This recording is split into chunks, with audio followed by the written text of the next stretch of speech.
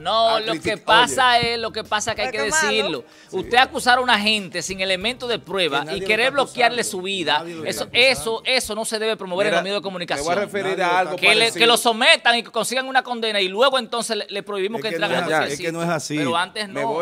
Señores, tenemos que tener cuidado con la sociedad que estamos creando. Mira, no es así. Mañana viene una gente y te acusa a ti de algo y no te van a creer en ningún lado.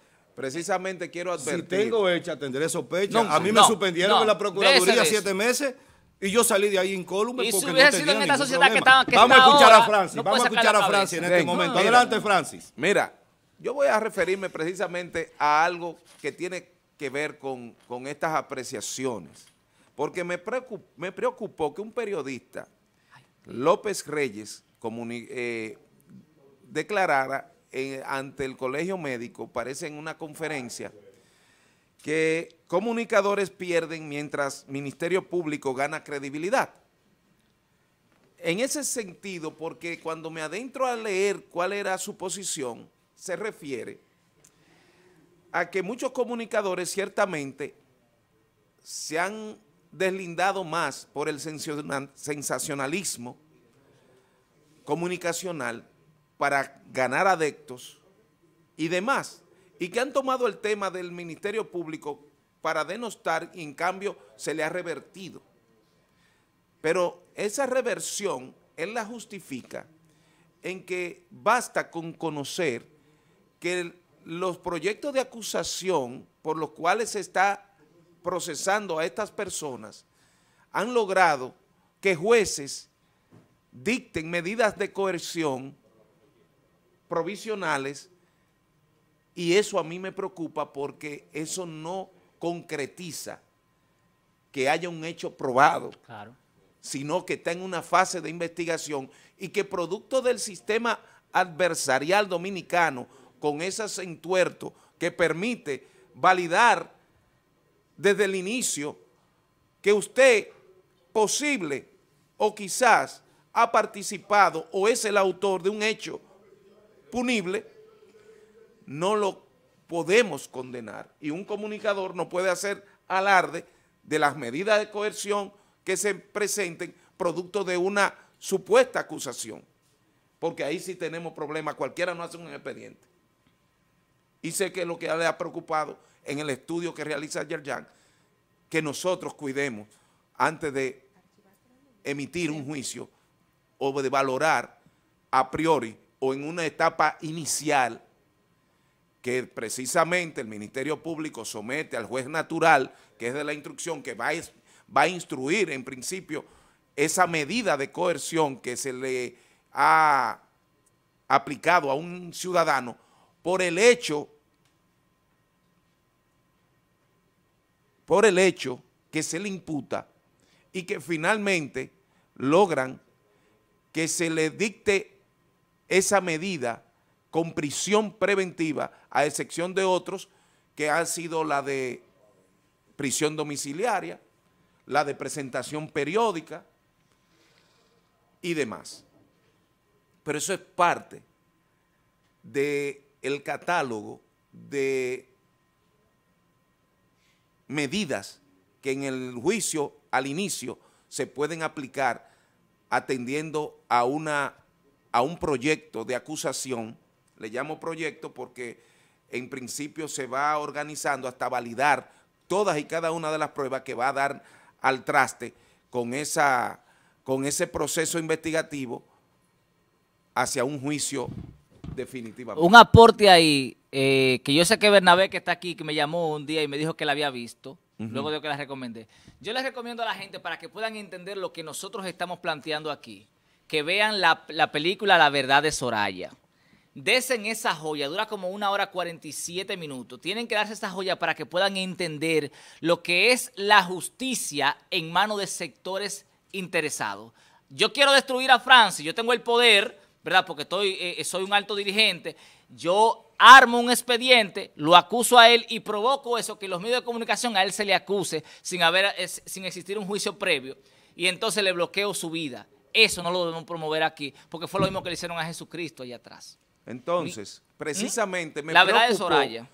La verdad que me preocupó lo que López Reyes, como periodista advertía de sus pares o de sus iguales que hoy estaban perdiendo muchos comunicadores y en cambio el Ministerio Público estaba ganando terreno. Ciertamente que la mayoría de los dominicanos sabemos y hemos visto de forma, de triste forma, el poder, el exhibicionismo de, de tener y de riqueza de muchos funcionarios de lo que hoy están implicados en actos de corrupción, pero no, no me da aún la oportunidad de asegurar de que hayan cometido el hecho en sí mismo solamente porque él dice que eso se justifica en razón de que jueces hoy a esas acusaciones preparatorias han logrado prisiones preventivas, como si fuera condenas. Como si fuera una condena. Como si fueran sentencias. Pero por lo menos en el caso de ellos, Francis, ya hay una, ya hay una imputación.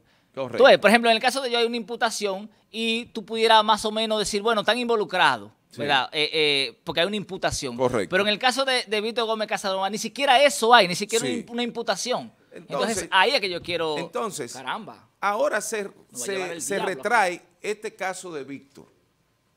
Ciertamente que Víctor fue mencionado en unos vehículos que tenía asignado y que él pudo demostrar que estaban asignados de la aduana, incautados, que no pasaron la, la condición de reclamos, que lo correcto es que la aduana cada cierto tiempo ponga en venta pública subasta los vehículos que no han sido retirados de los puertos y si tienen condiciones de ser, de ser utilizados, porque también el Estado se hace reo el Estado se hace reo también por las faltas que comete y sobre todo la de usted incautar o tener retenido un vehículo por razones legales no haya podido o por razones económicas no haya podido cumplir su propietario.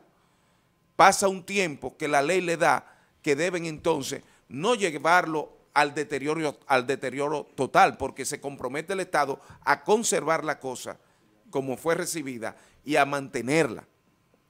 Ahora, de ahí creo que sé que más bien es más bien tema político, partidario, la de la fanaticada que surge para que rechacen la participación de Víctor Casanova.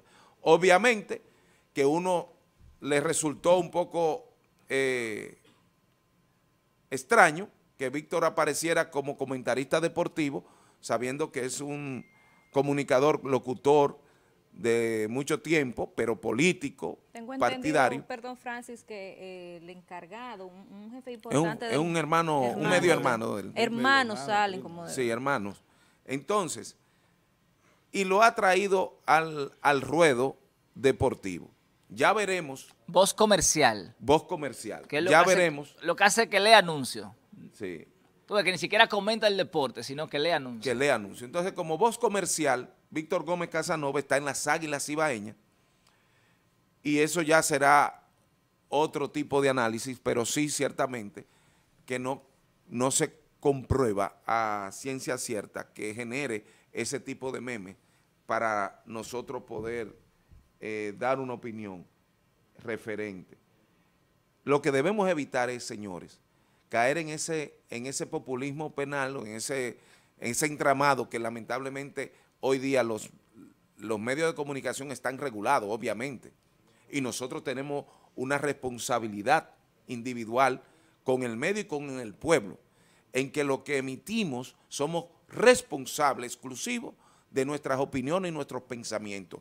Recuérdense que a mí me presentan, vamos a escuchar ahora el tema de, de Francia o de Carolina, a partir de ahí, Francis Rodríguez inicia un espacio en, dentro de nuestro programa en el cual yo emito un mensaje que es mi responsabilidad, producto de mi análisis, mi convicción, y los cuales yo tengo que saber que no debe ser, eh, no debo de, de incumplir con mis compromisos legales que eso genera, porque genera responsabilidad civil, genera responsabilidad frente al que me escucha y sobre todo a quien yo en un momento determinado señalo, porque también he hecho señalamiento a personas directamente, pero responsablemente yo las he dicho. Entonces todo eso tiene que venir con un, un resultado de convivencia y sobre todo de convivencia pacífica en la comunicación en la República Dominicana. Los medios se han diversificado y yo digo hoy que sí el Estado debe regular la difusión del pensamiento, porque en lo que se está dando con las redes sociales, donde no hay, donde no hay responsabilidad del que tiene el celular y por vía de consecuencia manda lo que quiere publicar, hasta dónde se tiene responsabilidad del emisor, hasta dónde, nadie la sabe, porque los medios, las redes sociales han diversificado todo, y ahí hay inclusive gente que adredes daña moral y honra. Pero tú no has visto la foto que usa Marino Zapete cuando él se va a referir a personas que son contrarias a él. No. y, fotografía, imágenes que, que laceran evidentemente lo que es la integridad, ¿verdad? la dignidad de la persona. Utiliza, busca fotos en, la, en el cual la persona quedó en una mala pose. Bueno, vi la de Con la cara distorsionada. de es, una, es, una, es, algo asqueroso y, el pueblo se lo permite, la sociedad se lo permite, el Estado se lo permite. Sí, por eso eh, yo si digo de ese que comunicador le aceptamos eso, ¿qué podemos esperar de la gente? El Estado debe regular definitivamente y tiene los mecanismos y la ley para regular el uso de los medios de comunicación de las personas. Porque no podemos seguir en, el, en este desorden comunicacional. Debemos construir nuevos pensamientos, pero constructivamente hacia un mejor ciudadano. Bien, gracias Francis.